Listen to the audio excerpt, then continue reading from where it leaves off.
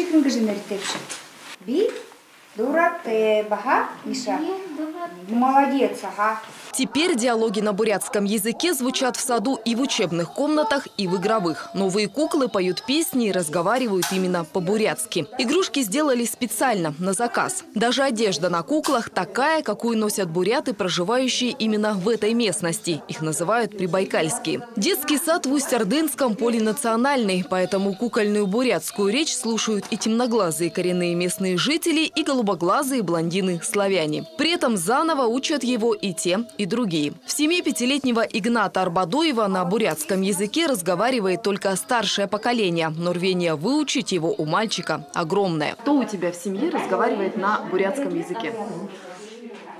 Ну, бабушка и дедушка иногда разговаривают. А мама и папа? Мама и папа нет. Ты хотел бы выучить бурятский язык, чтобы на нем разговаривать? Да. Очень, но этот карантин, это все покончил. Но Игнат переживает зря. Сейчас изучение национального языка будет проходить с удвоенной силой. В этом саду им занимаются все дошкольники, начиная с четырех лет. В саду работает два педагога дополнительного образования. Они разработали свою собственную программу изучения бурятского. Кроме кукол, сегодня в детский сад привезли также говорящую азбуку и специальные карточки. Все ли говорят дома? Э, Конечно, процентовка очень маленькая. Да, мы теряем язык, поэтому он нам нужен.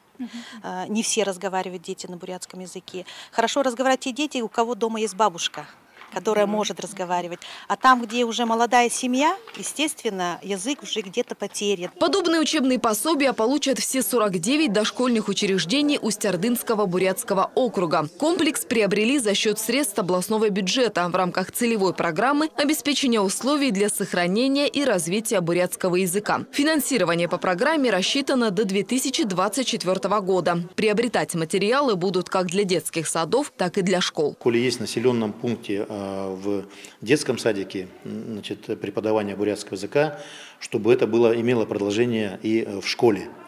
А, Потому что прерывать здесь, ну, конечно же, э, значит, будет неправильно. Сегодня а, вот бурятский язык преподается в 49 а, дошкольных образовательных учреждениях и в 77 а, наших образовательных значит, э, учреждениях, школах.